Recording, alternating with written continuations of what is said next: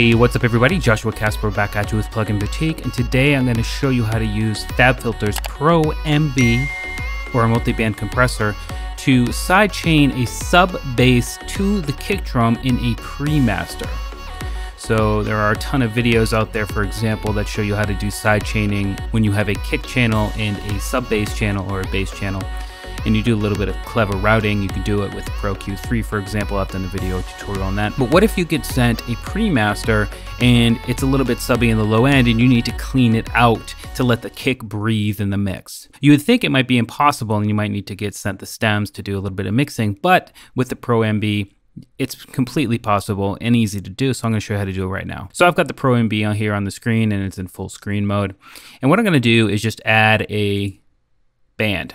Okay. So we've got a lot of control over this band. I can, you know, widen or narrow the band by clicking and dragging. I can also use the mouse wheel.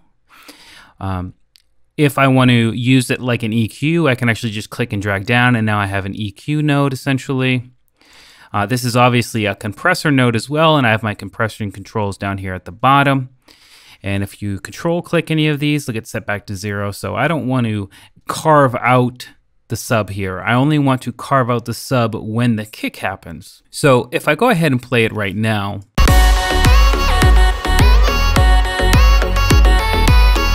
it's pretty much happening. And that's because we're on the kick sub range here. But if I want to be more precise and only carve out the subbiness when the kick happens, I need to do a little bit more using the controls down here. And I'm going to do a really extreme example just to show you how it's done. I'm not necessarily saying the mix is bad. I'm just saying if you had a bad mix, this is how you'd clean it up.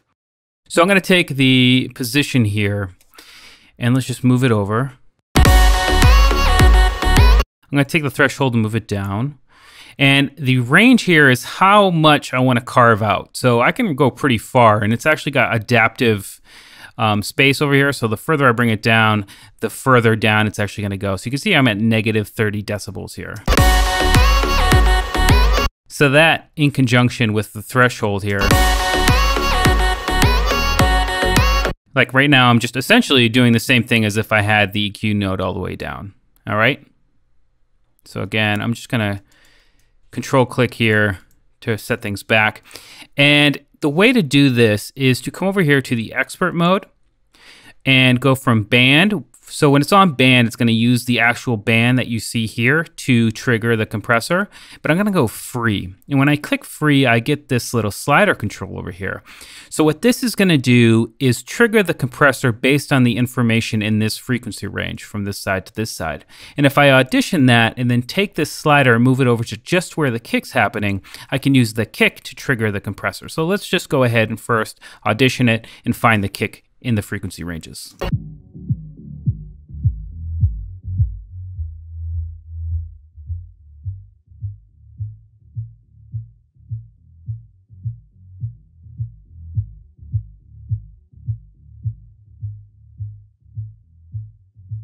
So that's pretty much it there. I hope you could hear that inside of the video, but it's very clear that that's kind of where the fundamental frequency peak is happening, is right around there, and we can get in there and fine tune it more later, but for our purposes, it's good enough. So I'm gonna go ahead and turn off auditioning. Now let's go ahead and play with the compressor settings to remove that subby low end when the kick happens to make the kick stand out better in the mix.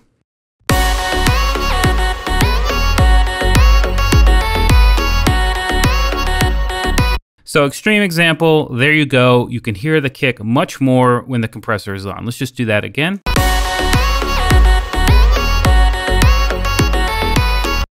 and that's it. But obviously, that's way too much. It's way too extreme. We're just completely getting rid of the sub low end, and you know, big speakers, and in your car, it's not going to sound the best. We we want sub there. We just want to remove it a little bit, so we can actually come up here and solo the band and see what's getting compressed.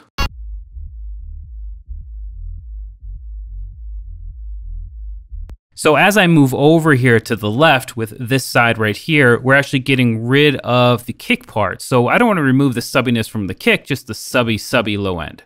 And that's what that's doing here. And not only that, but I can change the slope here to have a little bit more of a precise frequency carved out instead of this big slope here where it's kind of still going over the kick.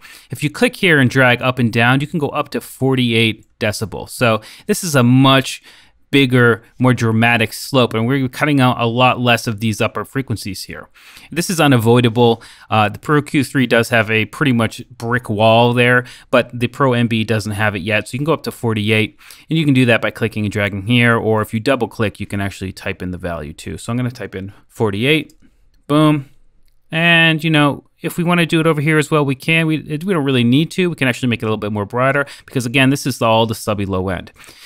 If I bring this over too far, we're actually going to really cut it out here. And that's actually too much in my opinion. So you want to be careful of that. Um, you know, you know, right around 36 is probably as low as you can be able to go. Uh, if I push over too far on this one as well, it's going to push it over. So you need to be careful here. You want to get as close as you can. And that's pretty much a subby low end. So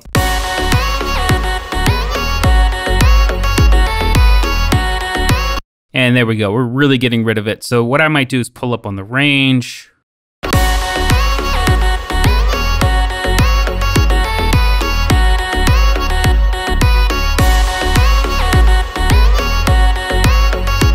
See how much punchier the kick sounds now? And of course, we want to take the attack and put it, uh, you know, at 0% here, just so the kick happens really fast and then the release, you know, really releases really quickly. So again, we're only carving out that subby low end when the kick is happening. And that way the bass or sub can come back in after the kick happens to really fill out that low end.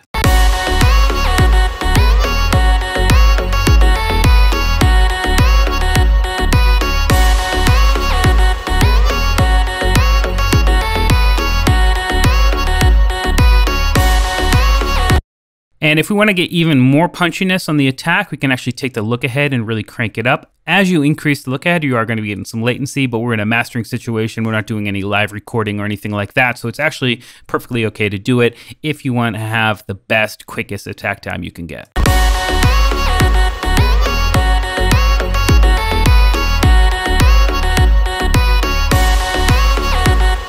So boom, there we go. We've really removed muddiness if it were actually muddy, I don't really think it is. Uh, maybe it made it a little bit better, but again, I'm just trying to show you the technique to fix a problem if you have it in your pre-master. And of course, that's how you do it. Very simple, very easy, uh, very intuitive using FabFilters Pro MB. Highly suggest checking it out. It's available now on pluginboutique.com as always. Links in the video description. I'm Joshua Casper here. I hope you learned something, and I'll see you in the next video.